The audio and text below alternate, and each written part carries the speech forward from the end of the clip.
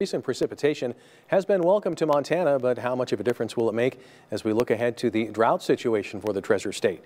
MTN's Eric Johnson spoke with a National Weather Service hydrologist for the answer.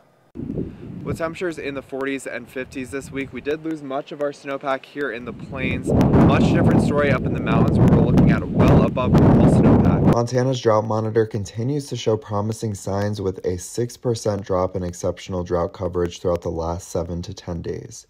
Aaron Peters, the senior service hydrologist with the National Weather Service, spoke with me about what it would take to continue alleviating the drought. Uh, so we need ample excess snowpack and we also need a wet spring. So you cannot overstate how important each of those things are. So the mountain snowpack will fill our reservoirs uh, for irrigation for those folks that are able to irrigate out of the reservoirs. So that is important for water supply.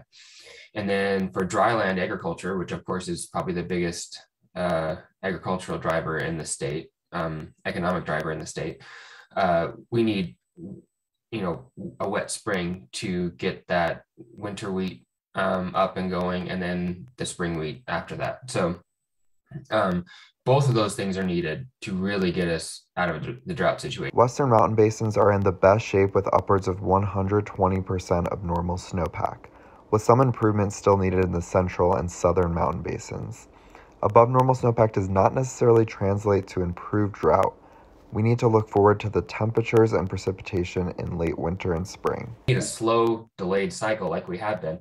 But with climate change, we are seeing an earlier snowmelt and a faster snowmelt. Um, that's very clear over the last you know decade or so. Um, our our average snowpack peak is getting uh, earlier, not later, which is which is not good. Um, and so that really does play a role in in how the drought uh, plays out. For more of my conversation with Aaron and more information on snowpack and drought, head on over to our website.